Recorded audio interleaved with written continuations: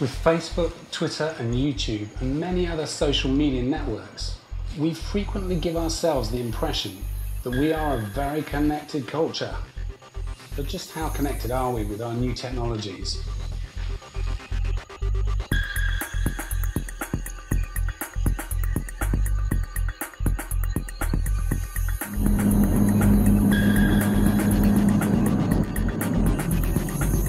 I wanted to test this out. So I flew to the other side of the world.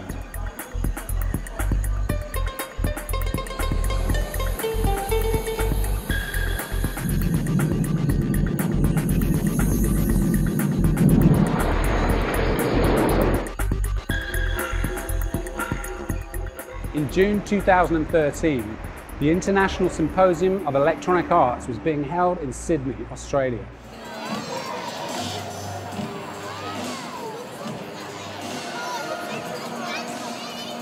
And I went over there to make a short documentary about it.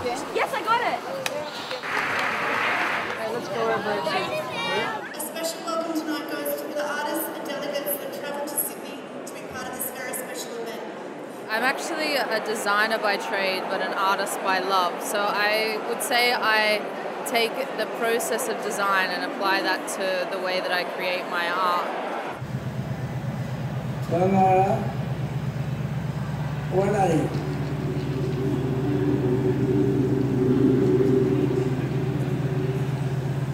So this show is probably our favourite one that we've been to tonight. I'll show you our favourite It's a sound and light projection, but you get to interact with it. So you get to take your shoes off and you get to walk on the screen that they're projecting the image onto.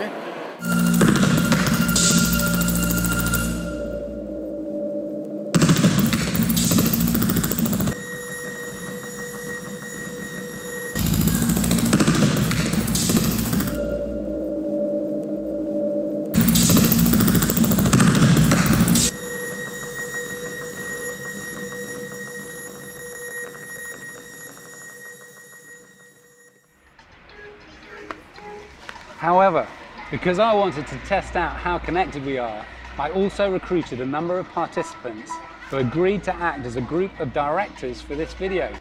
No, we, get, we, we got five. The idea was that they would decide what I would shoot, where I would shoot it, and how I would shoot it. Oh, okay. Yeah, we've got four. Done.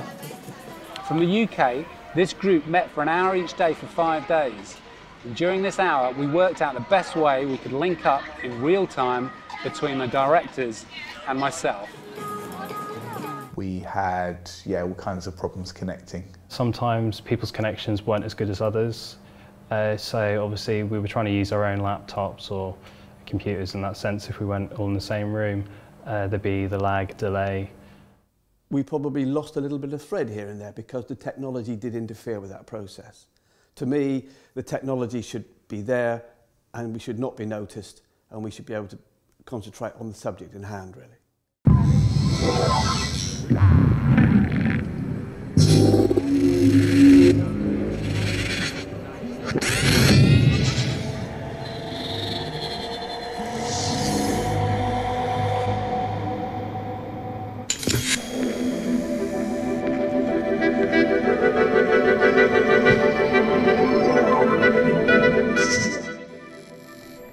ISEA stands for International Society for Electronic Arts, and it's a uh, it's an ongoing uh, festival. happens every year now um, in different parts of the world, and the events entail projects that uh, um, are that bring science and art together.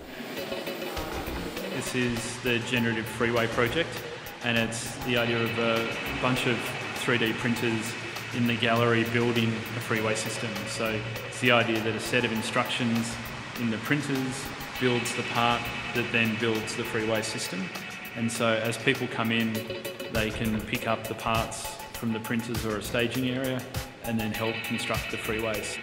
This is uh, an artwork which uh, looks at bridging two cities together, so putting people from both cities into a virtual space which really makes them feel like they're connected.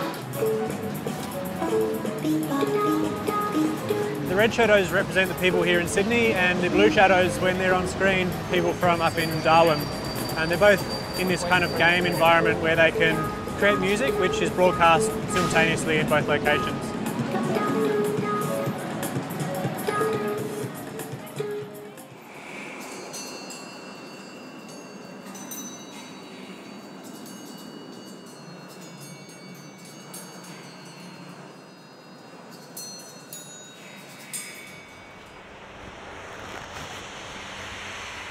The problem over the five days was not just the speed of connection, however, but the time difference. Generally, when Australians are awake, the British are asleep, and when the British are awake, the Australians are tucked up in bed. There's a mouse in here with me. He's sitting there in the light of the lamp, looking up at me. There he goes. I can hear him still, scurrying about somewhere under the hay rack. I think he's gone now. I hope he comes back. I miss him already.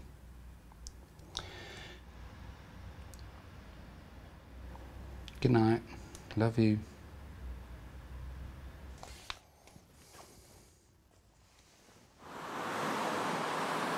We have uh, usually about a thousand people show up to these events. You might consider them part festival, part uh, academic conferences.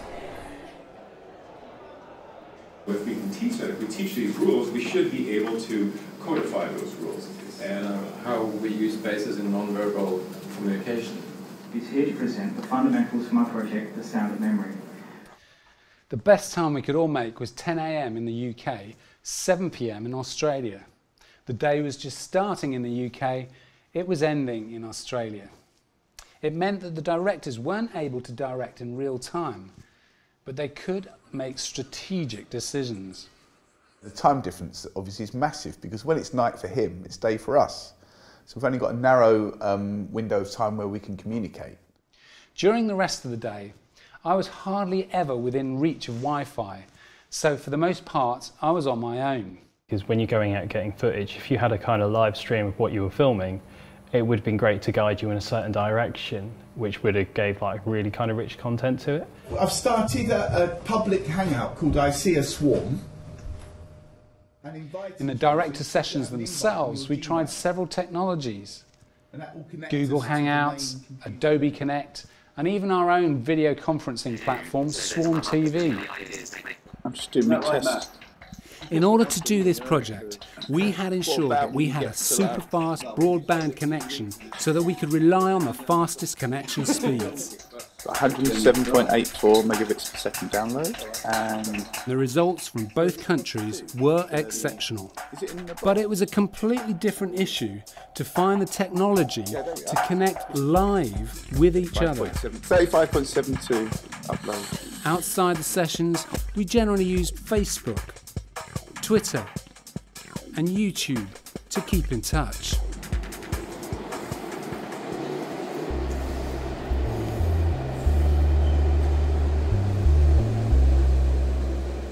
work is called Sleep Economy. It's a speculation on a future where um, the state of sleep is no longer a rest state.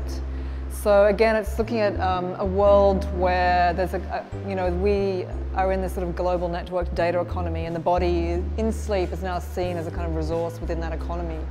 So instead of us being a physiological um, state of re recuperation, um, the body in sleep is actually, you know, its biochemical processes and its movements during the night actually being harnessed for some other means, which could be for good or evil, um, we don't know. So when we sort of hook into the grid, our body in sleep becomes this other resource.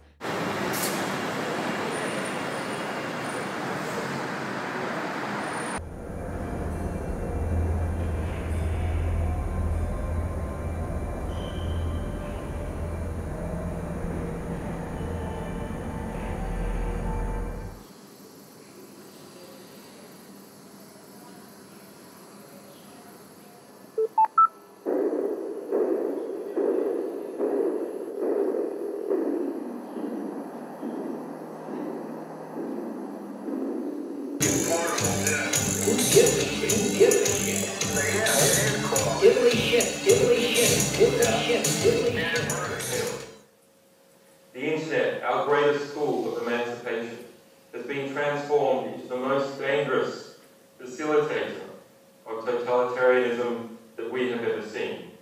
Originally, when we were founded back in 1988, it was the Inter-Society for Electronic Art. We still maintain the E as being electronic, but actually we think of it as emergent. New art forms coming out of this merger between technology and art.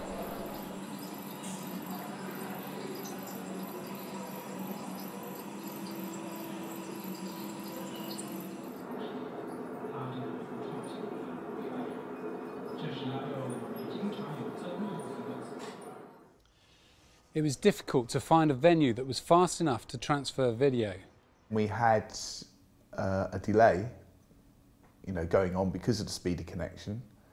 Um, and that's difficult, I think. That messes up the whole dynamic sometimes com communication because uh, you end up with people talking over each other. It was difficult to negotiate the different time zones. Maybe we got confused over when Jem mentioned afternoon, evening and tomorrow and yesterday, when in fact, when he mentioned yesterday, we could have possibly been in yesterday. And it was also surprisingly difficult to sense the emotions of the person you were connecting with. I did feel for Jem, poor chap, because he, he, seemed very tired every time we were kind of talking to him and uh, kind of felt for him because we were telling him what to do. So if he had to attend something he didn't want to, he still went out and filmed it anyway. Overall, we were able to make the film, but I think it's fair to say that we're not quite as connected yet as we'd like to think we are.